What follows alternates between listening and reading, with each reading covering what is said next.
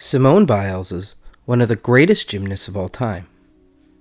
Born on March 14, 1997, in Columbus, Ohio, Simone discovered her love for gymnastics when she was just six years old.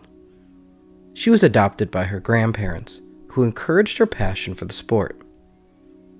Simone's talent quickly became clear. By the time she was a teenager, she was winning medals and breaking records. In 2013, she became the first African American woman to win the all around title at the World Championships. This was just the beginning of her incredible career.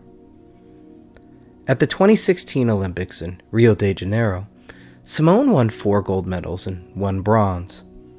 She amazed everyone with her powerful and precise routines.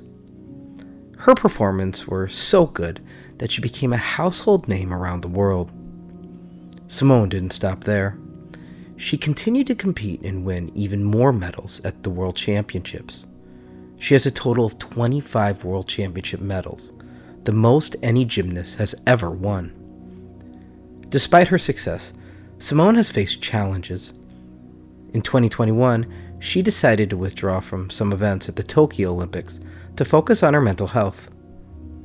This decision showed her courage and reminded everyone how important it is to take care of both the mind and the body.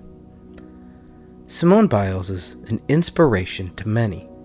She shows that hard work, dedication, and taking care of oneself are key to achieving great things. Her legacy will continue to inspire young gymnasts for generations to come.